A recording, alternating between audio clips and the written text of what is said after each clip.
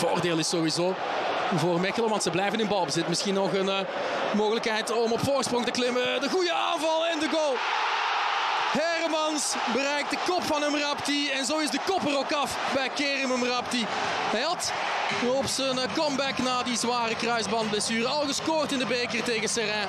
Maar Mrapti, dat is eh, uh, reus maar die kopt die kans wel reuze mooi binnen. En dus 2-1 voor Mechelen.